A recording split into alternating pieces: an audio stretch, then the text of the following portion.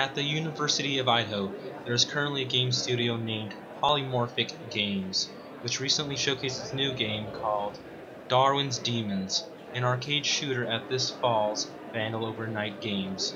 The most interesting part about Darwin's Demons is that its in-game enemies have a unique evolutionary mechanic to them. Darwin's Demons is an evolutionary video game. It's a game in which the player has to battle against an evolving population of aliens. So that's the new part that we've added to the video game genre. It's unique. There aren't any other video games like this where the enemies adapt to what the player decides to do. Even the developers, us, we have no idea how it's going to turn out. So when the players do certain things, we're constantly being shocked at what the, the population, the aliens, end up doing.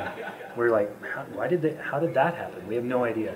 So Polymorphic Games has hired students from computer science, biology, virtual technology and design, English, journalism and mass media, business, music. And one of those students working on the game is Landon Wright, who is a virtual technology and design student. I was the Unity developer for this game, so I did like all of the backgrounds, the explosions, the fun stuff. I did parallaxing for the ships, made them look pretty, and just general art within the engine. So what's next for Polymorphic Games?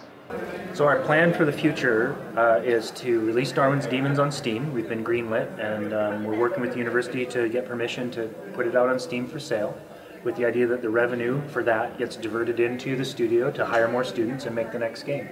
And we've already started prototyping next summer's game. We have funding to do that already, and the idea is sort of a, a secret right now, but but it's it's going to be a much more ambitious project than Darwin's Demons was. So this has been Sergio Trejo reporting for the Argonaut.